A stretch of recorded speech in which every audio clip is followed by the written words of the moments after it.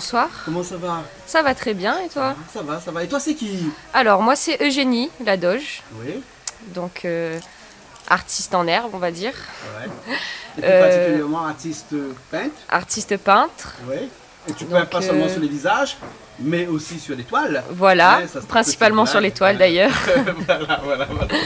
On va commencer à parler un petit peu de toi hein, dans cette petite émission-là et, et- et parler de toi en tant que personnage à part entière parce que tu es un personnage toi-même. Hein, Explique-moi un petit peu, c'est quoi ton personnage euh, que tu incarnes euh, à l'intérieur de toi-même? Alors, mon personnage, euh, je dirais que c'est un petit personnage un peu underground. Ouais. Donc, euh, j'essaye de. bah, de montrer un peu euh, les souterrains, on va dire, euh, du monde à travers mon style, à travers ce que je dessine, ce que je peins. Et quand tu parles de, de- de souterrain, c'est vraiment une image ou bien sinon c'est euh, vraiment en profondeur? Tu dessines pas euh, que des trucs qui vivent sous terre? Non, je dessine pas de, de trucs qui vivent sous terre. Quand je parle de souterrain, c'est une image, c'est-à-dire que c'est ce qu'on a à l'intérieur de nous. Voilà, c'est nos souterrains personnels, voilà. D'accord, d'accord. hein. Mais il n'y a pas que l'intérieur qui est, qui est important pour toi, il y a aussi l'extérieur, hein, euh, puisque tu as un look un petit peu atypique, on va dire. hein. C'est vrai qu'on est dans la semaine euh, euh, de, De Halloween, oui. Mais il paraît qu'on m'a dit tout à l'heure que toi, ton, ton look, c'est tout le temps comme ça. Il y a, des femmes qui s'habillent, qui te mettent, qui mettent du rouge à lèvres, des- du fard. Voilà. Mais toi, non, toi, tu as un look bien, bien particulier. Comment ça t'est arrivé, ça? Ben, c'est un peu, j'ai toujours été un peu euh, à côté de la plaque, on va dire, Décalé mais euh, voilà, décalé. Mais euh, ça fait pas très longtemps que bah, je m'assume entièrement et que j'ai décidé un peu de montrer bah, par, par, un- par le maquillage qui j'étais, côté un peu extravagant, avec la bouche trop grande, les petits rires sur le côté. D'accord. Pour plaire à quelqu'un, à plusieurs personnes ou à toi-même? Pour euh, montrer qui je suis. Je cherche pas à plaire, je cherche à créer des réactions. Mhm. Donc euh, que ça soit une réaction positive ou négative, dès l'instant où les gens autour de moi se retournent, me regardent et réagissent à ce que je, je suis, j'ai gagné. Et comme dirait un grand chanteur qui s'appelle Brassens, euh, tu n'as que faire de ces sourires obliques hein, qui Exactement. te regardent un petit peu sur, sur le côté, euh, en essayant peut-être de ne pas te, te regarder directement, mais un petit peu oblique, hein, comme dirait Brassens. hein, c'est ça Exactement. C'est ça, l'impression que les gens ont sur toi quand tu les croises sur la route comme ça Exactement. Hmm, D'accord. Alors, bien entendu, au-delà euh, de tout ça, tu es artiste peintre hein, et, et- et tu, as, euh, tu as quoi comme, euh, comme support qui t'intéresse pour peindre? Qu'est-ce qui te vient à l'esprit à chaque fois quand tu peins? C'est quoi ta, euh, ton domaine de création? Alors moi je fais de la peinture intuitive, c'est-à-dire que je me laisse guider par mes envies de couleurs, de forme, de largeur de trait. euh, je me laisse guider par tout ça. Ouais, ouais, ouais. Donc euh, là, j'ai commencé une série de tableaux qui s'appelle Camailleux. Oui. Et en fait, je me suis laissée guider par la couleur. Donc euh, j'installe un fond de couleur. Et les personnages viennent d'eux-mêmes sur ce fond, avec euh, leurs ressentis, leurs émotions, et je ne fais que les révéler. D'accord, on voit euh, des tableaux là qui défilent à l'arrière, mais tu es plus quoi, toi? Courbe ou ligne droite Ou le mélange des deux? Ouais, le mélange des deux. Mhm. J'aime bien mélanger. je pense qu'il ne faut pas s'arrêter à un truc en particulier et qu'au contraire, il faut essayer de mixer un peu tout ce qu'on a pour créer quelque chose de nouveau. Ouais, ouais, ouais, ouais, ouais. Il fut un temps, euh, on disait que la plume était une arme hein, et que le pinceau, le canon. hein. et tu utilises quoi, toi? Euh, Pinceau, couteau, euh, pistolet, euh, bombe de, de peinture. Tu utilises quoi comme, comme outil pour peindre hein? Alors, essentiellement du, des pinceaux, Oui. Mais euh, c'est vrai que je fais un peu de, un peu de tout. Donc, euh, tout, ce qui, tout ce qui se trouve, euh, tout ce qui passe sous ma main, euh, j'utilise. Des fois, j'utilise des, des feuilles, des branches. ça peut être n'importe quoi. Mes mains. Ouais. Éventuellement des aquarelles ou de la peinture à l'huile aussi. éventuellement des aquarelles. Je commence tout juste la peinture à l'huile Mhm. avec les couteaux justement, D'accord, ok. mais bon, c'est pas encore euh, acquis. D'accord, d'accord, d'accord. hein. Et, et ça t'est venu comment euh, et depuis quand euh, le fait de, de vouloir peindre comme ça? J'ai toujours fait de la peinture, j'ai toujours fait du dessin, Mais c'est vrai que là, depuis le début de l'année, en fait, j'avoue que toute cette histoire de Covid, confinement et tout, ça m'a un peu mis une espèce de rage à l'intérieur de moi parce que.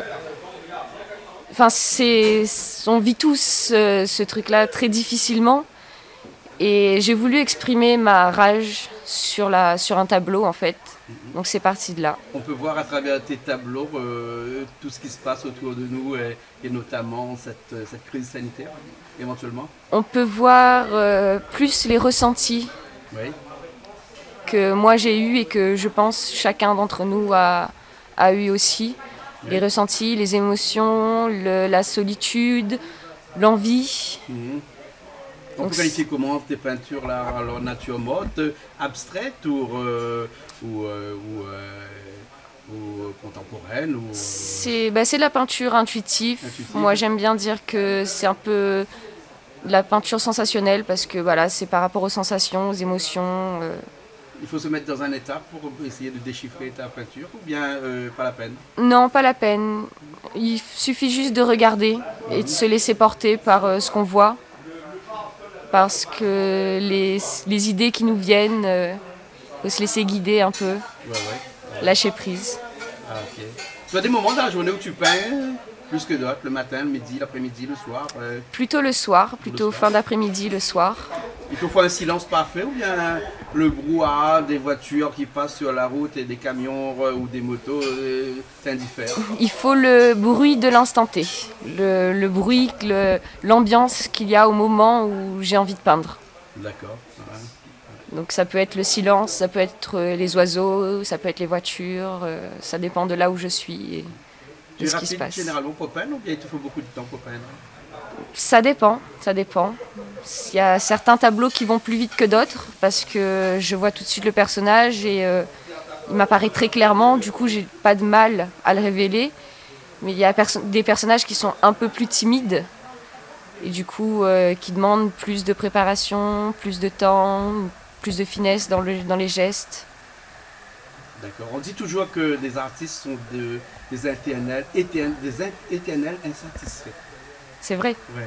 C'est C'est-à-dire qu'ils finissent jamais leur toile. Toi, tu, tu les finis, toi, au moins une fois. C'est pour ça qu'on a inventé le vernissage, d'ailleurs. voilà. Il faut qu'il stoppe un instant euh, la peinture, parce qu'à force de retoucher, de retoucher, et toi, tu retouches tout le temps, bien sinon, quand c'est fini, c'est fini.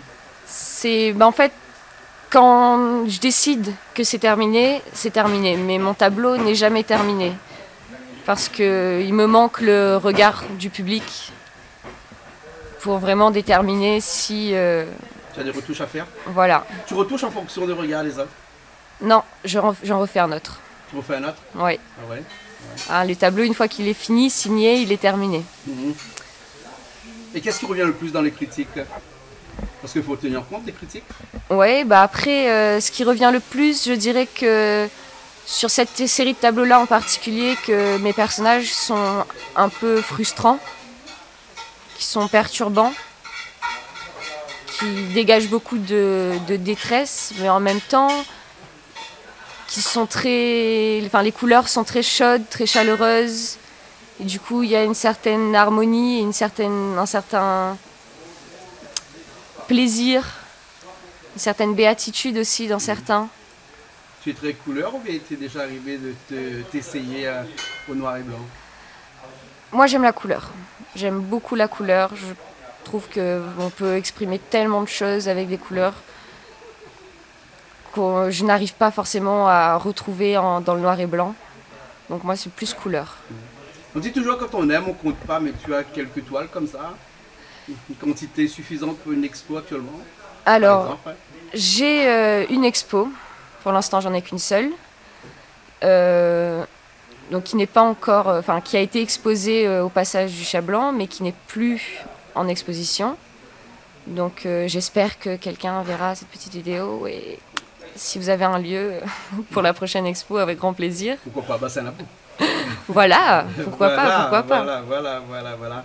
On peut retrouver tes, tes œuvres euh, sur un site, euh, un endroit, un Facebook, un, euh, ou, ou, sinon il faut vraiment t'appeler pour, pour, les trouver, pour les chercher. Alors, euh, pour le moment, il faut m'appeler, mm -hmm. donc euh, pour pouvoir trouver les œuvres. Mais je suis en train de créer un site Donc euh, une, une galerie en fait où je j'exposerai les- des photos de toutes mes œuvres. D'accord. Ok. Très bien. Tu as des dimensions bien particulières ou tu préfères les petites ou les grandes toiles? Je préfère les grandes toiles. Donc euh, après, j'ai fait quelques petits formats, mais les plus petits formats que j'ai fait, c'est des 40 par 40. Et sinon, je suis plutôt sur du 60 par 70, euh, 1 mètre par 80 cm. voilà, des formats assez grands. C'est pas plus difficile à remplir un grand format Ça dépend. Ça dépend. Si le personnage est, est là et qui prend toute la place, il n'y a pas de souci. S'il est plus timide, c'est sûr que je, je galère un peu plus à remplir la toile. T'es déjà arrivé de ne pas finir une toile? Oui, oui, plusieurs fois, euh, j'ai commencé des toiles que je n'ai pas terminées, que j'ai recommencé, que je n'ai toujours pas reterminé. Et il y a même des toiles que j'ai carrément euh, déchirées parce que j'arrivais pas à les finir et que trop de trop d'émotions. Oui. Ouais, ouais. Il te faut le moment T. Voilà. Voilà. Ben voilà. Merci en tout cas pour ce moment T. Bah, avec grand plaisir. On Merci était à sur toi. Canal Austral, hein, dans une petite émission qui s'appelle Petit Causé. On a causé un petit peu, hein, on a vu défiler tes toiles. Hein, tu as un contact pour des gens éventuellement qui seraient intéressés et qui pourraient, euh, euh, qui voudraient venir voir tes toiles par exemple. Alors bien sûr, on peut me contacter par Facebook. Donc euh, c'est Eugénie Ladoge, tout simplement. D'accord. Voilà. Merci beaucoup alors. On Pas de se souci. retrouve euh, pour euh, d'autres toiles, Avec grand plaisir. bien entendu d'autres histoires sur ces toiles. Avec grand plaisir, oui. À bientôt. À bientôt.